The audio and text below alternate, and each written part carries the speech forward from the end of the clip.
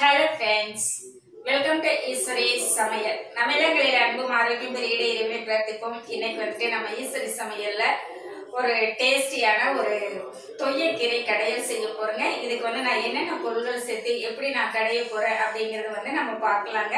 கொஞ்சம் டிஃப்ரெண்ட்டாக வில்லே ஒரு வில்லேஜ் ஸ்டைலில் வந்து நான் இந்த கீரை வந்து கடைய போகிறேங்க இந்த ரெசிபி வந்து பார்க்கறதுக்கு முன்னாடி நம்மளுடைய இசை சமையல் சேனல் வந்து சப்ஸ்கிரைப் பண்ணிக்கோங்க. கூடவே இருக்கிற பெல் சிம்பிளையும் கிளிக் பண்ணிக்கோங்க.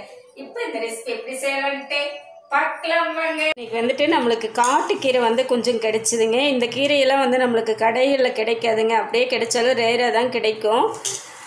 இந்த கீரை வந்துட்டு நம்ம இந்த அளவுக்கு மேலே வளர்ந்த நம்ம அப்படியே கிள்ளி எடுத்துகிட்டு வர்றது தாங்க பார்த்தீங்களா? இந்த காட்டுக்கீரைன்னு சொல்லுவாங்க தொய்யக்கீரைன்னு சொல்லுவாங்க. பாருங்கள் இந்த கீரை வந்து நம்ம கடைஞ்சோன்னா சாதத்தில் வச்சு நல்லா சூடாக சாப்பிட்றதுக்கு ராகி கிளக்கி இதுக்கெல்லாம் வந்து ரொம்பவே நல்லா டேஸ்ட்டாக இருக்குங்க. நான் வந்துட்டு இப்போ சாப்பாடு வச்சுட்டேங்க. இப்போ இந்த கீரை கடைஞ்சிடலான்னு சொல்லிட்டு இந்த கீரை வந்து எல்லாமே க்ளீன் பண்ணி எடுத்துட்டேங்க. அதாவது நம்ம தோட்டத்துலேருந்து பறிக்கும் போதே வந்து நம்ம இந்த மாதிரி இந்த அளவுக்கு அப்படியே கிள்ளி தான் எடுக்கிறதுங்க. இது வந்துட்டு நம்ம அலசி நல்லா ரெண்டு மூணு டைம் வாஷ் பண்ணணுங்க. ஏன்னு கேட்டிங்கன்னா இதில் மண் இருக்கும். ஏன்னா இந்த அளவுக்கு தான் லென்த் இருக்கிறதுனால இந்த தரையில் இருக்கிற மண் வந்து இருக்கும். அதனால் இது வந்து ஒரு மூணு டைம் நாலு டைம் நல்லா வாஷ் பண்ணி எடுக்கணுங்க. இப்போ இந்த கீரை வந்து நல்லா வாஷ் பண்ணி எடுத்துகிட்டு வந்துடலாங்க. கீரை வந்து ஒரு நாலு டைம் நல்லா வாஷ் பண்ணிவிட்டு இந்த மாதிரி ஒரு மண் பாத்திரத்தில் சேர்த்திட்டேங்க. ஏன்னா மண் பாத்திரத்தில் கீரை செஞ்சோன்னா நல்லா டேஸ்ட்டாக இருக்குங்க. இதுக்கு வந்துட்டு ஒரு அரை டம்ளர் அளவு தண்ணி சேர்த்திக்கலாங்க. ஏன்னா அதிகமாக சேர்த்தக்கூடாதுங்க. கீரையிலேயே வந்து தண்ணி இருக்கும். அதனால் அளவாக சேர்த்திக்கலாங்க. ஆன் பண்ணி வச்சுட்டேங்க. வேகட்டுங்க. ஒரு மூடி போட்டு வச்சுக்கலாம். போட்டுக்கலாங்க. கீரை வந்து ஓரளவுக்கு வெந்திருக்குங்க. ஏன்னா இடையில இடையில நம்ம வந்து எடுத்து பரட்டி விடணுங்க. பார்த்தீங்களா இன்னும் கொஞ்சம் நல்லா வேகணுங்க.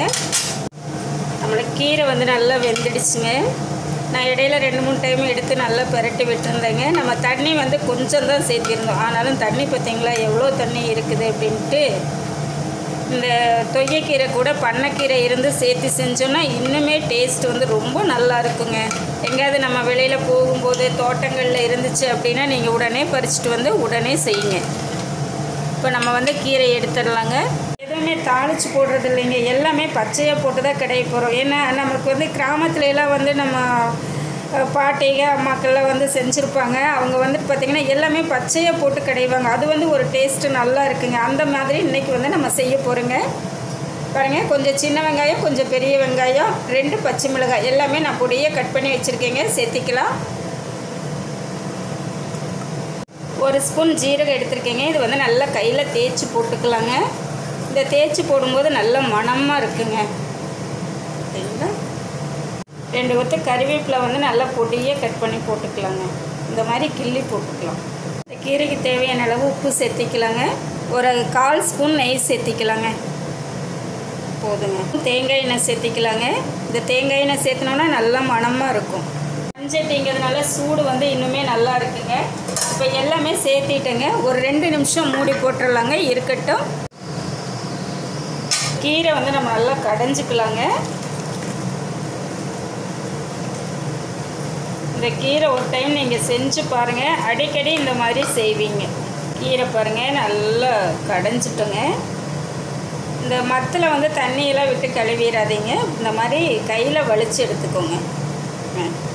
அப்படியே சூப்பராக நம்மளுக்கு வந்து கீரை வந்து ரெடி ஆகிடுச்சிங்க நம்ம இந்த பாத்திரத்தில் வந்து பார்த்திங்கன்னா இந்த முக்கால் சட்டி வச்சுருந்தேங்க. ஆனால் எந்த அளவுக்கு கீரை வந்திருக்குதுன்னு பாருங்க வெந்ததுக்கப்புறம் அதுவும் இந்த காட்டு கீரை பார்த்தீங்கன்னா நல்லா பச்சை பசேருன்னு நம்ம இந்த பச்சை வெங்காயம் பச்சை மிளகாய் போட்டு செஞ்சதுக்கு அவ்வளோ ஒரு டேஸ்ட்டாக இருக்குங்க. நீங்களும் கண்டிப்பாக இந்த மாதிரி செஞ்சு பாருங்கள்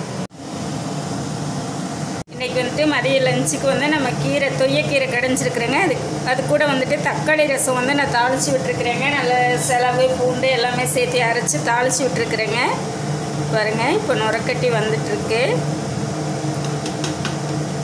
அதோடு பார்த்தீங்கன்னா நான் காலிஃப்ளவர் வந்து பொரியல் பண்ணி வச்சுருக்கேங்க. இதுதாங்க இன்றைக்கி வந்துட்டு நம்மளோட மதிய லஞ்சுக்குங்க என்னங்க நான் செஞ்ச இந்த காட்டுக்கீரை வந்து உங்களுக்கு ரொம்பவே பிடிச்சிருக்கும்னு நினைக்கிறேன். இந்த மெத்தேட நீங்களும் செஞ்சு பாருங்க. எப்படி இருக்குன்னு கமெண்ட் பண்ணுங்க. பிடிச்சிருந்தா லைக் பண்ணி ஷேர் பண்ணி நம்ம சிறு சமையல சப்ஸ்கிரைப் பண்ணி கூடவே இருக்கிற பெல் சிம்பிளையும் கிளிக் பண்ணிக்கோங்க. தேங்க்ஸ் ஃபார் வாட்சிங்